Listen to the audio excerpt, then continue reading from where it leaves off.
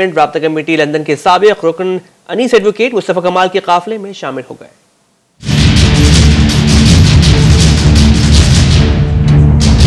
आपने ट्रस्ट तोड़ा है आपने एतमाद तोड़ा है।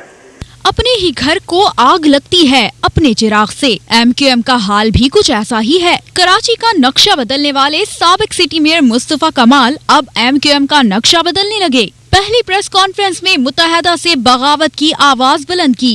दूसरी में एम क्यू एम की एक विकेट ले ली। एम क्यू एम के रुकने सिंध असम्बली और सबक सूबाई वज़ीर सेहत डॉक्टर सगीर ने कमाल का साथ देने का ऐलान किया। तीसरी प्रेस कॉन्फ्रेंस में कमाल ने फिर कमाल दिखाया।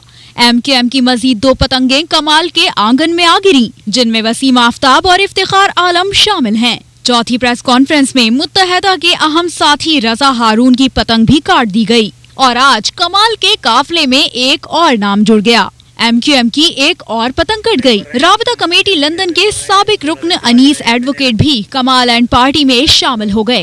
कौन बचेगा और कौन जाएगा? एमक्यूएम क्यू एम को लगेंगे मजीद कितने झटके, कितने कमाल दिखाएँगे नए कमाल, ये तो वक्त ही बताएगा। जमात इस्लामी